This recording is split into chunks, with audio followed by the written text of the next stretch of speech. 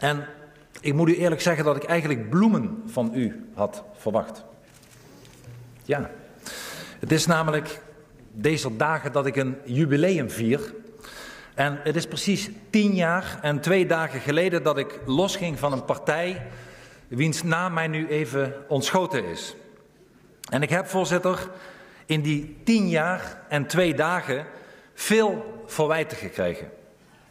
En het belangrijkste verwijt is misschien wel dat ik steeds weer hetzelfde verhaal vertel. Voorzitter, ik moet vandaag al mijn critici gelijk geven. Ik zeg inderdaad al vele jaren hetzelfde. En vandaag zal ik voor de zoveelste keer opnieuw hetzelfde verhaal afsteken over de islam. Zoals ik dat al tien jaar en twee dagen doe. Voorzitter, ik werd ooit verketterd om mijn film Fitna. En niet alleen verketterd, ook strafrechtelijk vervolgd. Voorzitter, waar nog niet eens zoveel jaren geleden niemand, niemand bij de publieke omroep of anderszins mijn film Fitna wilde uitzenden, zien we Fitna 2, 3, 4, 5, 6 vandaag dagelijks op het journaal op de televisie. We beleven geen clash of civilizations, geen botsing der beschavingen, maar een clash tussen barbarisme en beschaving. En Nederland, voorzitter, Nederland is steeds meer het slachtoffer van de islam geworden. Door het wegkijken van de politieke elite. Hier zitten ze, allemaal. In Vakka zitten ze ook, allemaal. Wegkijkers. Iedere waarschuwing, iedere waarschuwing, tien jaar en twee dagen lang werd genegeerd. En dus krijgen we vandaag de dag in ons land te horen, krijgen christenen in ons land te horen, wij willen jullie allemaal vermoorden. En dus worden Joden vandaag de dag in Nederland met de dood bedreigd. Zien we hakenkruisvlaggen bij demonstraties. Gaan er stenen door de ruiten? Zijn er molotovcocktails? Wordt de Hitlergroet gebracht? Gaan zwarte, macabere ISIS-vlaggen wapperen in de wind? En op de Dam horen we kreten als fuck de Talmud. Excuseer le mot, maar dat werd gezegd. Ja, voorzitter, de islam kwam naar ons toe, ook deze zomer. En vicepremier Asscher stelt in al zijn naïviteit dat er een grote behoefte bij moslims bestaat om dit aan te pakken, om dit hard aan te pakken. We krijgen in de kabinetsbrief van afgelopen vrijdag te horen dat die jihadisten eigenlijk niks voorstellen. Woorden als secteachtig worden gebruikt. En het is nog klein ook, schrijft hij in zijn brief. Voorzitter, tot zover de wensdromerij van al die wegkijkers.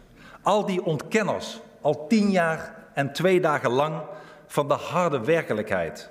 De struisvogelbrigade van Rutte 2.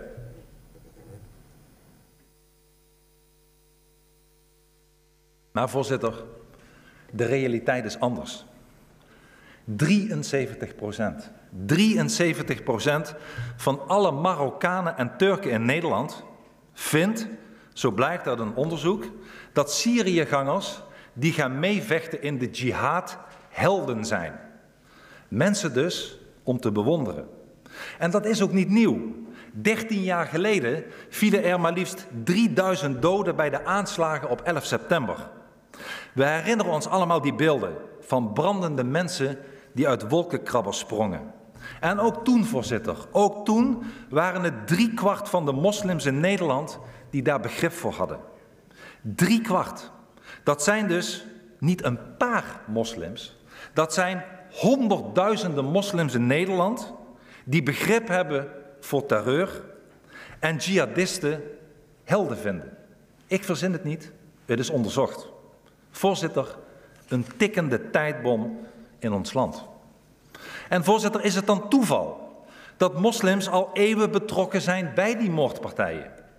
Nee, voorzitter, dat is geen toeval. Ze voeren gewoon hun ideologie uit. Allah heeft de waarheid gedicteerd aan Mohammed. Volgens de, volgens de islam was Mohammed, voorzitter, de volmaakte mens. En wie de Koran ontkent, ontkent dus Allah. En Allah laat er geen onduidelijkheid over bestaan wat hij precies wil. En laat ik een paar citaten uit de Koran gebruiken. Surah 8, vers 60. Maak voorbereiding om Allahs vijand te terroriseren.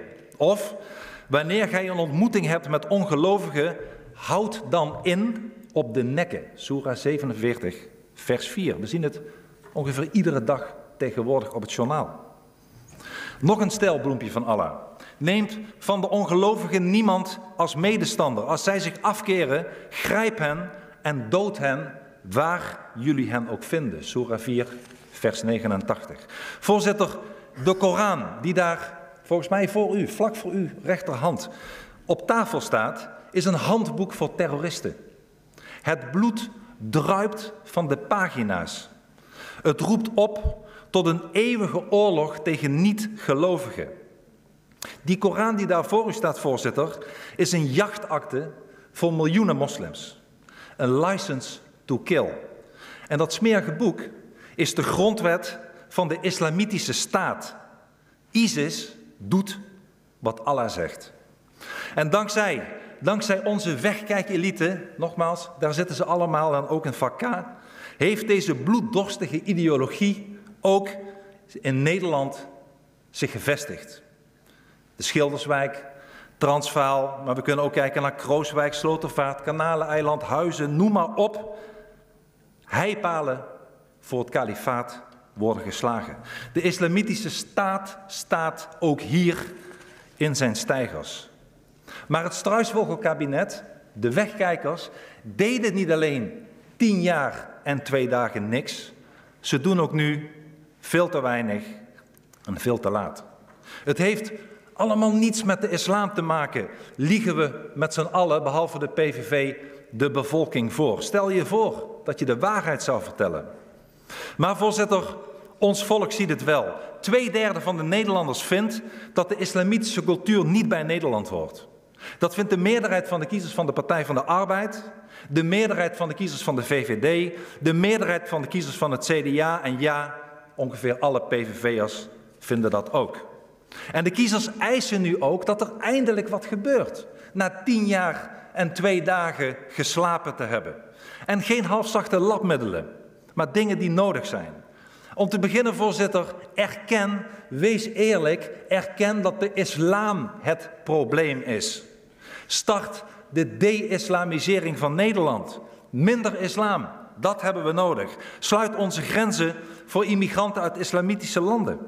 Voer grensbewaking in. Hou even op met die cultuurverrijking. Sluit die salafistische moskeeën die, zoals de heer Roemer zegt, geld krijgen van foute golflanden, zoals inderdaad Qatar. Pak alle jihadgangers hun paspoort af, ook als ze alleen Nederlander zijn. Laat ze er maar een paspoort van ISIS nemen, als ze dat zo graag willen. Maar, voorzitter, ook vinden wij dat uitreizende jihadgangers, die moet je niet tegenhouden. Laat ze vooral lekker gaan, zou ik tegen het kabinet willen zeggen. Met zoveel mogelijk vrienden en familieleden. Laat ze gaan. Ik kom ze zelf uitwuiven op Schiphol, als dat zou helpen. Maar voorzitter, laat ze nooit meer terugkomen. Dat is de voorwaarde. Opgeruimd staat netjes. En iedereen, iedereen die steun betuigt aan terreur om onze democratische rechtsstaat omver te werpen, kan wat mij betreft linea recta het land uit. Sta je met een ISIS-vlag te zwaaien, dan sta je er eigenlijk met een uitreisverzoek. Voorzitter, ons is de oorlog verklaard en wij moeten hard terugslaan. Weg met die mensen, het land uit, genoeg is genoeg. Dank u wel. Dank u wel.